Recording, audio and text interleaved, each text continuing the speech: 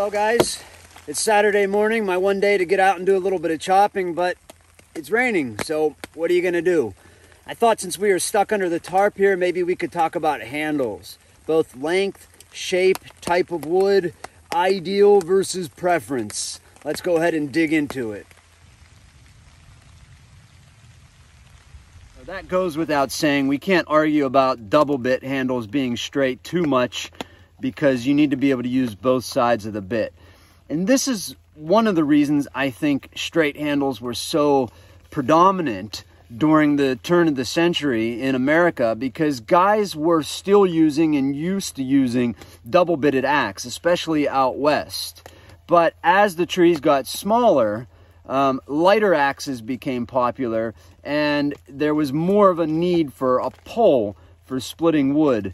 And slowly but surely, the double bit became less popular and the single bit with a pole became much more popular, especially here on the East Coast. You find a lot more double bits here than you do, uh, I'm sorry, a lot more single bits than you do double bits. And the handles started to get curvy.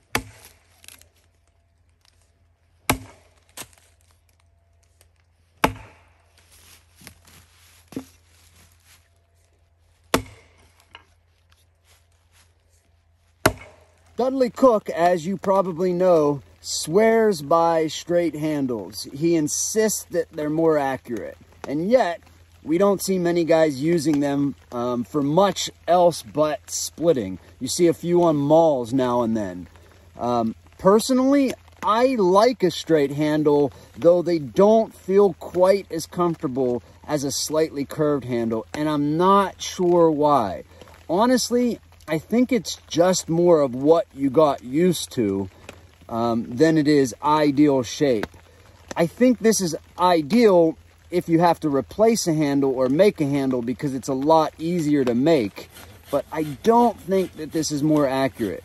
It is more ideal, I would argue, for a wedge beater because no matter which way you turn it, it feels natural in your hands. So for a wedge beater, I would argue yes, absolutely straight handles. For a chopper, mm, I don't think so. So let's talk about the other extreme, curvy.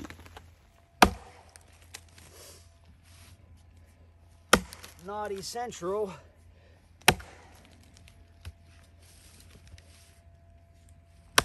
This would be an example of the other extreme, curvy. This is the most curvy handle that I have, the French Curve by Killinger.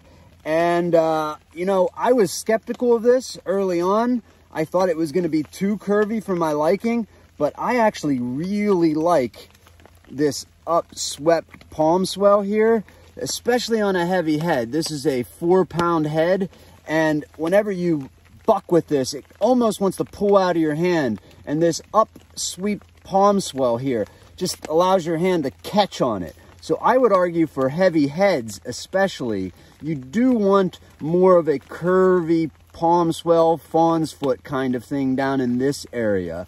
Curious to uh, hear what you guys think, but I don't think that it's a um, coincidence that most racing handles have this style of fawn's foot or palm swell on it because they have heavy heads. The other thing that you could argue about curvy handles as opposed to straight handles is that anytime you violate this grain, in this direction. So as soon as you violate the grain here, that it makes the handle weaker. Um, I can't remember if Cook makes this argument, but it's a sound argument in theory, though I can't say that in practice I've noticed a difference, but I'm not a handle breaker. Um, if you guys are handle breakers, maybe these extremely curvy handles, especially up here, this is really where it's vulnerable in the curve because you're violating the grain so much in this direction. On a really curvy handle, I would say that grain orientation, which is perfect on this axe, and runout, which is also perfect on this axe. This is not runout, guys. Quit calling this kind of shit run out. If the arrows are pointing in the direction of the wood, of the grain, that's just the grain of the wood. If they're pointing out of the grain, that's run out. So yeah, maybe in a uh, straight axe, grain orientation matters a lot less, and perhaps it matters a bit more in a curvy axe. Um, I don't think so, but maybe you could argue that. This handle feels really great though, so going from a straight handle to this, yeah, you might feel a bit awkward for a minute, but I think you can get used to it pretty damn quick. And oddly enough, that is what Cook argues. He basically argues that the reason that straight handles are so are no longer popular is simply because this looked cooler and guys just got used to this, which I think is a lame argument. Um, guys that were actually using axes would not have just got used to this if the straight axe was that much better.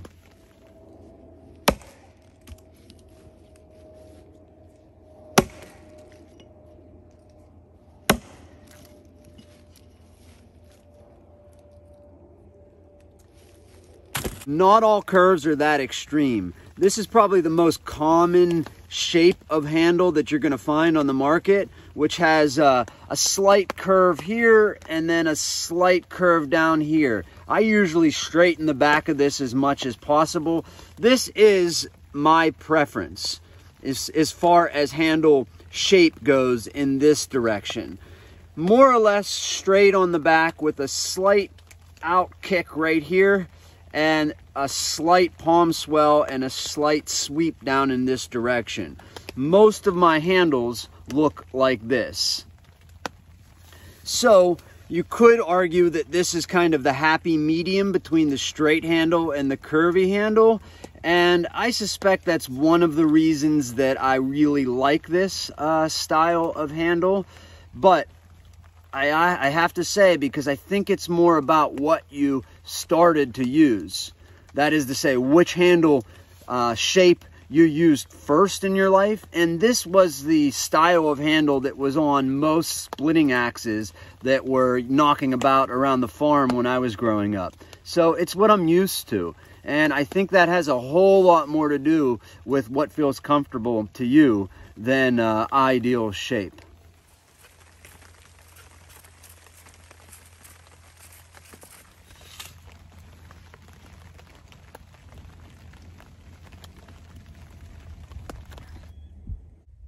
All right, guys, let's talk about handle length. This is one time, and you can tell the misses, where shorter really is better. Hmm. Hey, Big Karen, this kid here says size doesn't matter. I think it's no secret that I prefer a 28 inch handle as an ideal all arounder, but there are practical uses for things under that. I really like um, 24 inch handles or even better yet 25 to 26 inch handles when limbing or even when felling. Anything over 30 inches just feels damn awkward. I'll, I mean, I have a couple of 32 inch uh, splitting axes and they're fine for splitting big rounds, but even at that, I would prefer a 30 inch or a 29 inch handle on a uh, splitting axe.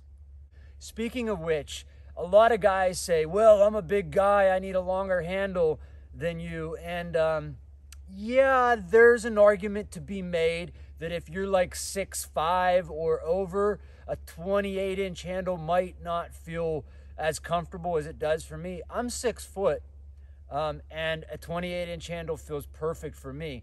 I think it has more to do with your agility. If you don't like to bend your knees, then yeah, you're probably going to like a little bit longer handle. But uh, I would make a case that anything over 32 inches is too long. And we can talk about why here in just a second. All right, let's do it. Let's talk about grain orientation. You've all heard that your grain should be straight up and down in this direction. And I have several axes that are just like that. All my Swedish axes run straight up and down. The little Basque axe runs straight up and down. Any axe I've ever gotten from Killinger runs straight up and down or damn near it. Um, I got a Liam, a Liam Hoffman handle there, runs straight up and down. And uh, I got one from Lamica here that runs straight up and down. Again, more Killinger handles. So that's the ideal, right? That's the way they're supposed to go. And just to throw him in, here's one from Beaver Tooth, straight up and down. All right. I don't think that matters much at all, if at all. Here is the worst case scenario, or damn close to it. Almost runs the exact opposite way. This is the new axe we were talking about, but it has no run out in it. So what matters more, grain orientation or run out? I don't think any of them matter a whole lot, but run out is definitely something that you should look for more than grain orientation. This is run out when the grain of the wood doesn't run straight through the handle, but it starts to point out of the wood. You see these arrows here? They're not running straight, they're pointing in this direction. I have several axes like this that have grain runout. This one here has a little bit in the back. The worst one that I have on the longest handle, uh, no, that's not true. This is 33 inches. But this is the worst example of a handle that I have. You can see here, right where it matters the most, I have a ton of runouts. More than that, this is a cheap, uh, cheap link handle, which I absolutely despise. There is a nasty ass knot right there in the worst place. But I hung this as an experiment. This is a three and a half pound head on a like 33 inch handle. And it's got this nasty knot with a lot of run out and uh, a lot of flex. And guess what? So far, no problems. So if run out doesn't matter all that much, if grain orientation doesn't matter all that much, what does matter? Well, quite frankly, I think it has a lot more to do with the piece of lumber that you got. Whether or not it's been cured properly, how tight or how wide apart the growth rings are. But in short, I just don't think it matters that much. I don't think grain orientation matters that much. I don't think run out matters all that much. Um, I think knowing how to use an axe properly and being able to test the limit of that piece of lumber matters a whole lot more than either of these two things. Grain orientation does so matter. I think grain orientation matters more on longer handles. So this is where I think it came from when guys were using 34, 36 inch handles on a regular basis and they were slimming them down a lot, then yeah, I think this matters, just like it matters in a 2x4 when you get over 16 feet. So you start getting 16 feet in a 2x4, you're always going to want to stand it up like this on end and get the grain orientation running this direction. But when you're talking about 28 inch handles or less, it doesn't matter a lick. It doesn't matter if the grain runs like this and you got run out pointing like this, if you know how to use an axe. That's my opinion anyway. Take it or leave it. All right, let's talk palm swells real quick. I think it's clear that I don't like them. You can see here I cut off three palm swells, effectively giving me half of what you would normally have on an axe. And I have to say, this is definitely a preference. Most guys are gonna hate an axe like this or this with virtually no palm swell. I like it, and I'm convinced it's from my days of playing hockey. You can see here that I preferred a small palm swell on my hockey stick and that's because you don't hold a hockey stick like this. You don't choke up on it. You hold it back here so that the uh, butt of the stick can rotate in your palm whenever you're stick handling. And that's how I hold an axe. Um, when I hold an axe, I hold the axe partially out of my palm like that. I don't choke up on it. I mean, sometimes when I'm limbing, but normally the butt of the axe is right there, half in, half out of my palm. Now, that said, I don't think I prefer no palm swell. Uh, this acts as an experiment. It, it is swelled slightly in this direction uh, to give me a little bit extra to hold on to down there. This is the ideal palm swell for me as of now. I like a slight hook in this direction. That's enough by itself for me to be able to hold on to the axe, but I do prefer it to be swelled slightly in that direction and slightly in this direction as well. So slightly both directions, but not much. Not much, mind you. And I don't want this lanyard hole to be there. My pinky tends to drop in that and it bothers me. So no lanyard hole slight hook, slight swell in either directions. Most of you are probably going to find that you prefer a much larger palm swell. This here would be the largest um, palm swell that I actually like. I'm really enjoying this French curve, but it's mostly because it has this hook here. The palm swell is not very large, and most of you would find this damn awkward, I think. So that's something you have to sort out for yourself. But again, if I haven't already beaten it into the ground, experiment. How are you going to know what you like unless you experiment? Take it all the way off so that you have a uh, starting point. Go with some massive palm swell like this. You could have left all of this on here. Go from nothing to huge and then whittle it down and see what feels comfortable.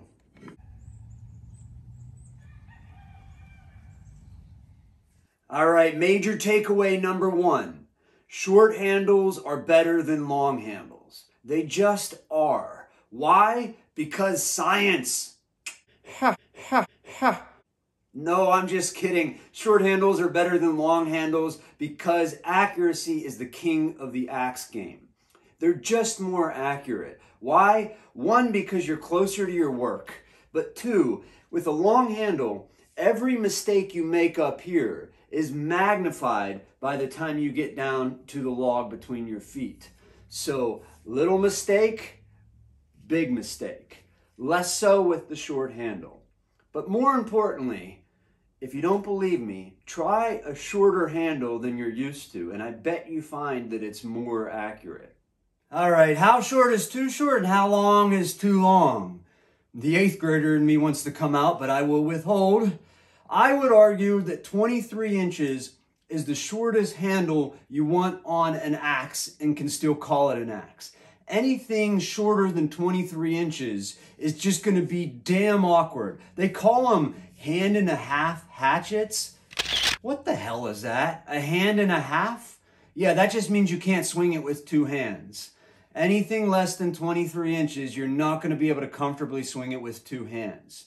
Now, that brings up the question, how long of a handle should a hatchet be and still be called a hatchet? My opinion is going to differ here, I'm sure, because I think of a hatchet the same way I think of a hammer. And I think of a hammer nowadays not as a tool to hammer nails, but to beat stuff. We're no longer hammering nails, we're using nail guns, which is why I think a 13 and a half, 14 inch handle on a hammer is about perfect. You see guys, um, I see guys all the time with 18 inch uh, handles on hammers, and they're always choked way up on it because you don't need that maximum force to handle the hammer nails anymore, which is why I also prefer a lighter head on a handle, on a hammer that is. Same thing is true on an axe. I think about 13 and a half inches is perfect. I got plenty of purchase back here if I really need to give it some, which you rarely do with a hatchet. Most of the time you're going to be choked way up on it carving. So I would say anything over 13 and a half inches, maybe 15 if you really are using it to give her some, which I don't know why you don't just get a boy's axe, but uh, maybe 15, but I would say 13 and a half inches is ideal. So that gives us this uh, weird dead man's zone from like 14 inches to 20 inches. I'm basically arguing that there shouldn't be any 14 to 20 inch handles on hatchets or axes. Now, how long is too long? I think 30 inches is the longest handle you're gonna want on an axe, regardless of the head weight. 32 inches might be okay if you're a really tall, big guy, but anything over that is just going to make you less accurate and you're going to be more tired trying to keep control of that head out there on that long handle. Now, of course, once upon a time, guys were accurate with these long handles when they were chopping these big trees down. We're not chopping big trees down, so there's no point of us trying to go through the effort of getting used to them. So keep it under 30 and above 14, and you're going to be in the wheelhouse. Grain orientation means fuck all. Dad, there's the puck behind the net. In between the defender's legs, circles around, shot, scores! All right, enough of that nonsense, but you get my point. This is a hobby. It's supposed to be fun. And experiment. How do you know what you like if you don't try new things? And I don't mean to make it sound like an empty platitude, but specifically when we're talking about axe handles, if you've only ever tried one type, how do you know you don't like something else or there's not a preference out there that you haven't even given a shot yet? So when modifying handles, you know, make it too thin. Take off the palm swell altogether. Make it too fat. Make it too flat. Just try new things with each axe, especially if you're making your own handles. You can essentially do whatever you want, and the smallest tweak might make the biggest difference in the world. So uh, have fun and experiment. Uh, suffice it to say that most of my handles are hickory, and I am experimenting currently with some different wood types. Got a knot right there, but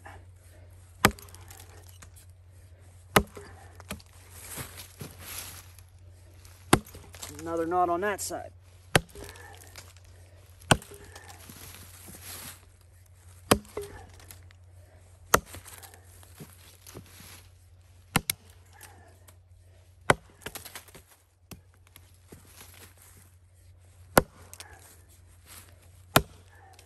So I don't see us hitting the overly ambitious goal of 500 subs by the end of the year. But if we hit 300, I will still do the giveaway. So share and subscribe. I'll see you guys on the next one.